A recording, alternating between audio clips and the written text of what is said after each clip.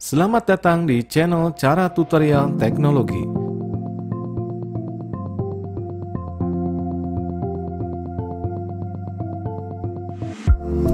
Di channel ini kamu akan mendapatkan informasi tentang cara dan tutorial berbagai aplikasi yang biasa digunakan sehari-hari, baik untuk belajar maupun bekerja.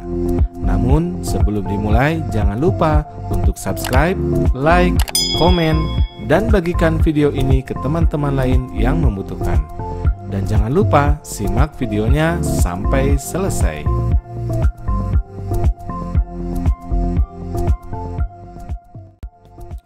Baik, kita mulai. Pada video kali ini saya akan coba menjelaskan bagaimana cara menghitung umur atau usia dari tanggal lahir kita yang sudah diketahui di sini. Ini saya ada tabel seperti ini. Ada Bambang, Joni, Sam, Desi, dan Rosa dengan tanggal lahir yang sudah diketahui. Kita bisa hitung umurnya. Ini tahun. Ini dia usianya 35 tahun sampai hari ini. Hari ini adalah tanggal 10 Mei 2021 ya. 10 Mei 2021 video ini direkam ini cara pertama. Kemudian ada cara kedua nanti. Cara kedua di sini rinci. Ada tahun, ada bulan, ada hari. Jadi 34 tahun, 8 bulan, 23 hari. Hanya di sini kolomnya masih terpisah. Kolom E, F, dan G. Nah, di cara yang ketiga, nanti ini cukup satu kolom bisa. Langsung 34 tahun, 8 bulan, 23 hari. Nah, kemudian ini kok beda ya? Ini 35, di sini kok 34. Ini 41, di sini kok 40. Yang ini sama ya, yang ini sama, yang ini sama. Ini ternyata adalah e, pembulatan dari desimal. Ini kalau kita tambahkan desimalnya di sini seperti ini.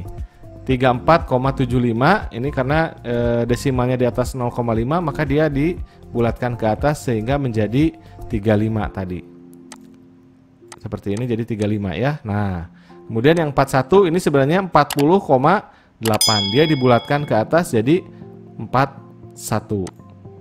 Nah, kebetulan yang 30 ini 4 dia dibulatkan ke bawah. Jadi tetap 30, 19,2 dibulatkan ke bawah jadi 19, 22,0 tetap sehingga datanya kalau hanya tahun saja di sini agak sedikit berbeda. Nah, kemudian bagaimana cara ngitungnya? Nah, ini kita coba hitung dulu ya. Kita kopikan dulu dari sini. Kita bikin tabel lagi di bawah.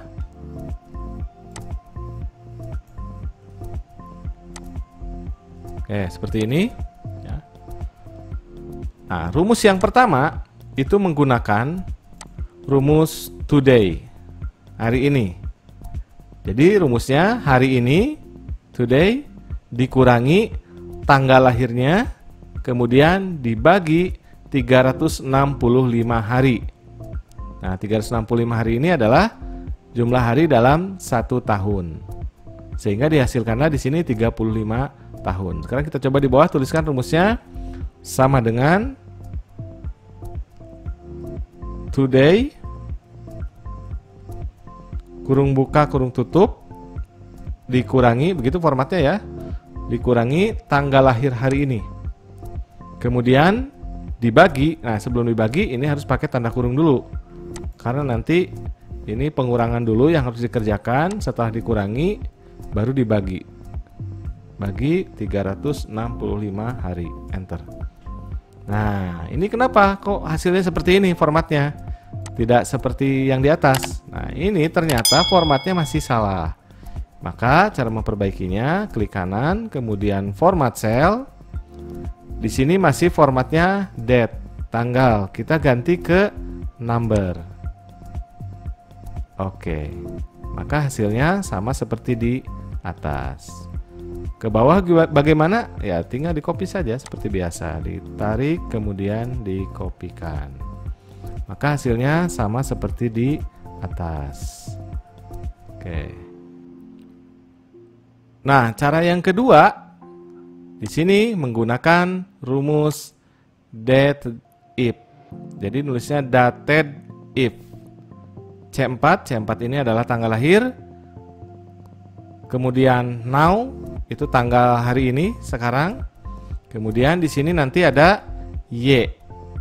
Y kemudian dan tahun.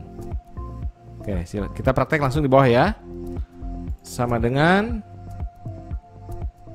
that if kurung buka kemudian di sini tanggal lahirnya kemudian now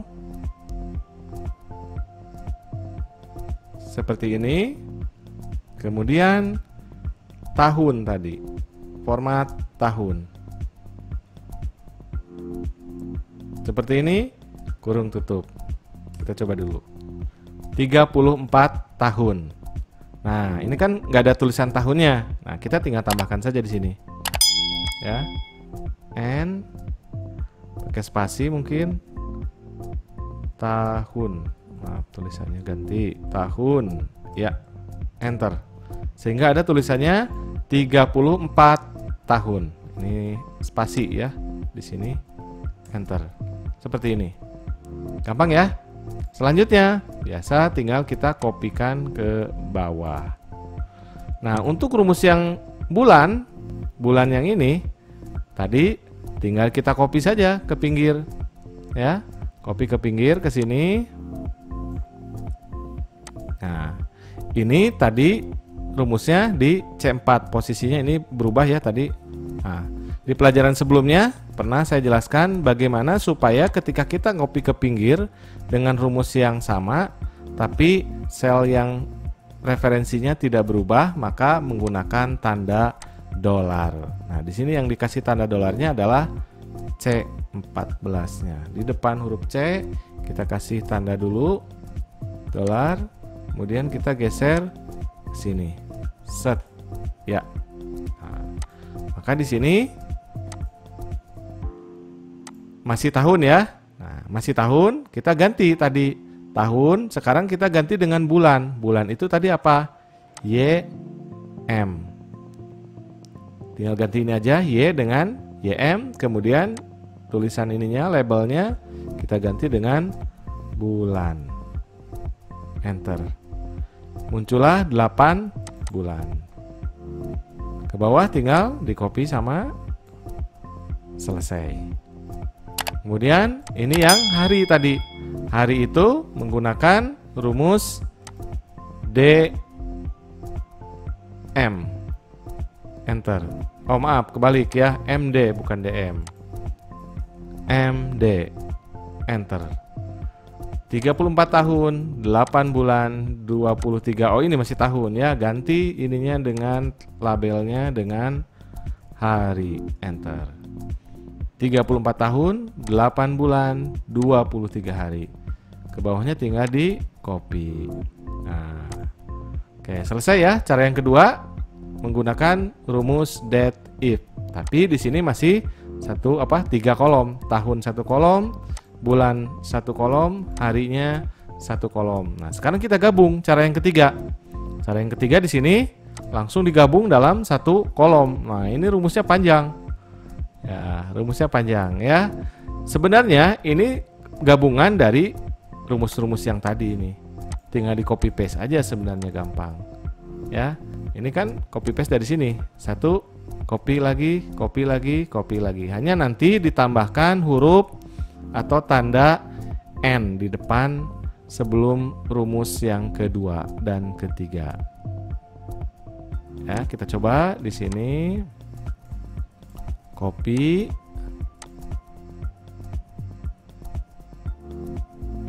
Sebentar di sini kita coba copy kemudian paste sini keluar ya rumusnya that kemudian yang bulan sekarang kita copy juga di sini nah sama dengannya tidak perlu di copy cukup satu kali saja sama dengan di depan. Oke.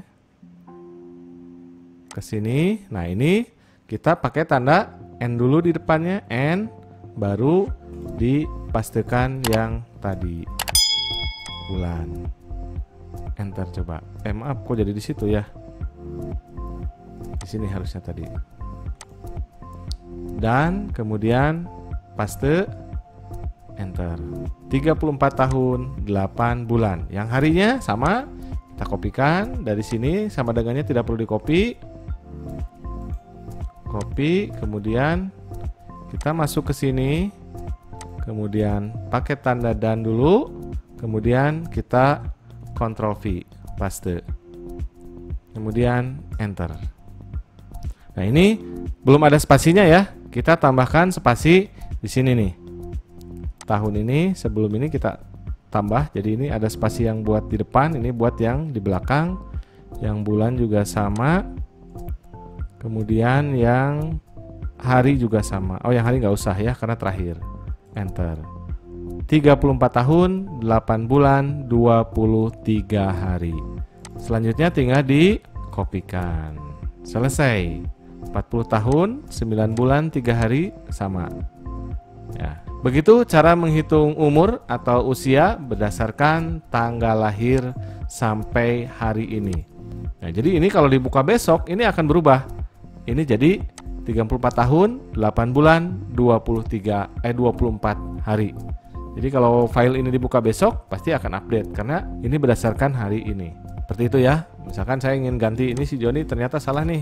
Bukan 7 Agustus. Nah, misalkan dia berapa? 7 misal bulannya saya ganti deh.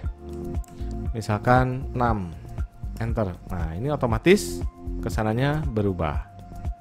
Oke, seperti itu ya. Gampang ya cara menghitung umur atau usia menggunakan rumus today dan rumus date if Semoga bermanfaat. Jangan lupa untuk subscribe, bunyikan loncengnya, dan boleh di-share ke teman-teman yang lain yang membutuhkan. Semoga bermanfaat. Sampai berjumpa lagi pada video berikutnya.